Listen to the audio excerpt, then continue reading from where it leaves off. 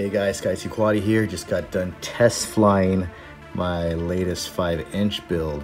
I call this the budget friendly neighborhood Spidey 5 inch build. And I say budget because most uh, DJI quads are coming in close to 400, 400 plus. And uh, yeah, this one was about 307 with the components that I used.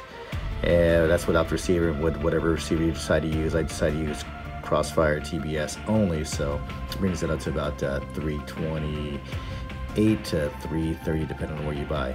So anyway, I'm gonna start off first off uh, with the weight, because the weight is pretty impressive to have a, a DJI system in here, Caddx Vista system in here on a five inch quad. It's coming in at 325, 326 without props. And depending on what props you're gonna use, it's always gonna be different, right? So these Gemfan, what are these called? Gemfan uh, 51, 43 threes. That's a weird number. They flew pretty smooth and they're coming out to 341 grams total. So not bad in my opinion for a five inch quad with a uh, HD DJI system. So let me get that out of the way and go over the what and the whys I did what I did.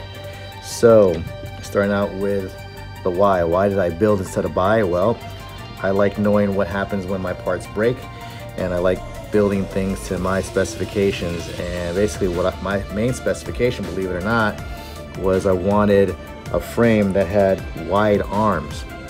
And the reason is, is because I've been seeing where I fly guys with five inch quads with the toothpick style replaceable arms breaking all the time.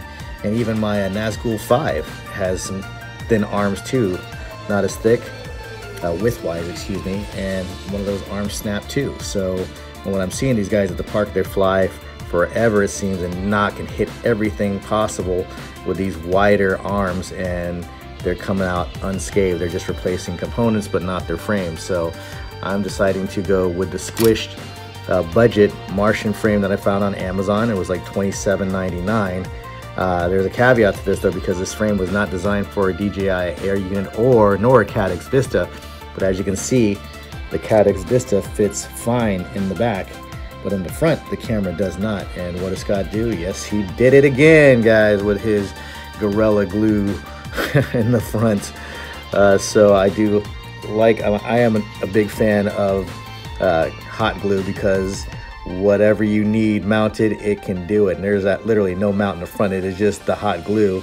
And I also made a 3D printed mount in the front, a protector in the front. So when this crashes like it did do today, uh, the camera stays put. And I put that on a lot of my quads and you might say that's not gonna last.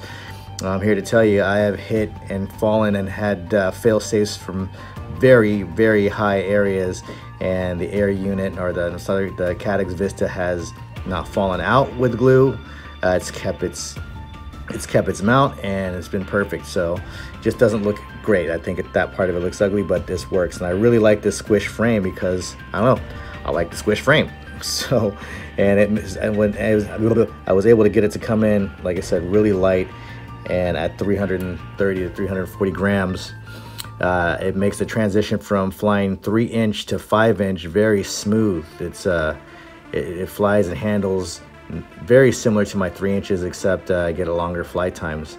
And the batteries that I use to get those flight times, you can get this Poway 1500 milliamp on Amazon and they are going for like $15. So I picked up, uh, I think three or four of them and I got some 1500 uh, milliamp uh, China Behind black batteries and these got it close to seven minutes of flight time. So uh, I didn't want to go 6S either because I already own a 6S quad, right? And the batteries that I've been using, if they're not 6S, they get drained so quick. So a 4S battery on it or even a 5S battery on it gets drained to only three minutes flight time. So having a 4S build, in my opinion, at my skill level and comfort level right now, it's perfectly fine. It's enough. It's all I need to do and practice freestyle and get the long distance or mid-range distance and just have a great time flying.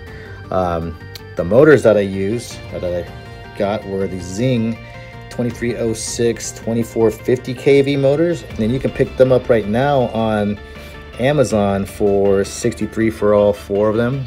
So I thought that was a great deal too. So if you can get your hands on, they're very smooth, very smooth motors, not very notchy at all, and they look sick. I love the way they look. And let's see, going around to the back, of course, I use the uh, TBS Crossfire and the L with the L shape, just like uh, Mr. Steele has, and it gives me the range that I need. I, I really don't need to go farther than a quarter to, to a half a mile with these type of setups. So, and I get that with the TBS Crossfire and the DJI Vista unit. I do recommend if you're gonna go with any type of DJI unit, you, you should consider TBS Crossfire just for peace of mind to get the range. Because I did have a near fail safe from a distance that I could not have achieved or retrieve, retrieve this from if I did not have the TBS Crossfire. Uh, I went on the other side of the mountain and it completely froze, pixelated, so I just punched the throttle up until I got visual and a TBS saved my quad. So do recommend TBS Crossfire. And what else? The board. Yeah, I guess we should go over the board, right? This board is the HGLRC uh, 35 Zeus 35 amp, and it's also the same board that I do have in my Sector 132 3 inch. And like I said, it's a 35 amp board and it can handle 6S. So literally if I take these motors off and I put a 6S set of motors on it, I'd be good to go, but I don't want to do that right now. Maybe later, but right now I don't want to. So I do enjoy the flight times. I like the setup of it. I like how, how light it is. I mean, if you look around right now, the lightest ones that I've seen on uh, on most sites, like the Flywoo or something like that, that was at one 367 grams, so that's pretty heavy, and it's a 6S, so add a 6S battery to that, then uh, yeah, you're looking at a, a pretty heavy quad. And I, like I said, I like the way this flies right now. There's a little bit of vibration and jello, and it's so easy to get rid of the jello. In another video, I'm going to show you the difference between using a flying it normal, like stock, and then putting a cheap $5 ND8 filter on the front of the camera, and it just, for some reason, kills all jello, like eliminates it, it's done.